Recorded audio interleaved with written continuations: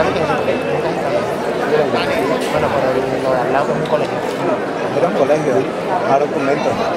Pero ahora ya no, ahora es el convento de los niños.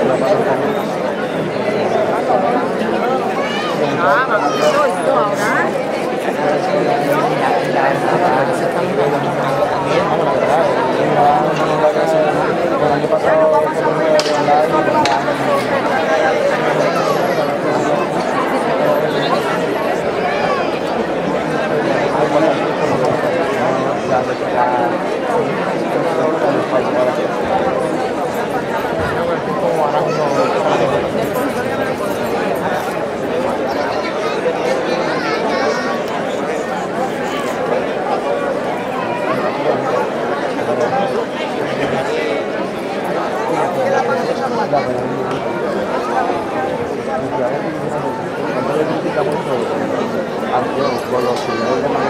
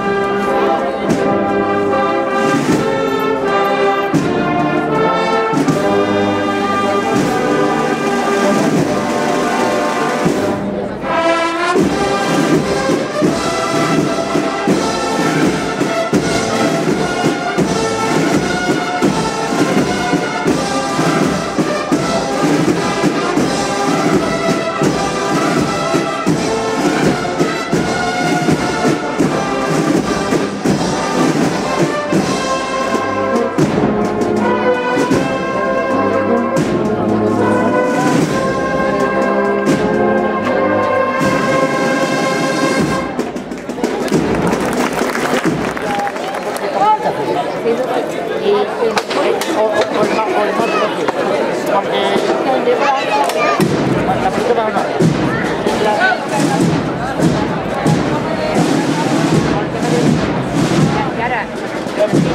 en serie, en serie, estamos.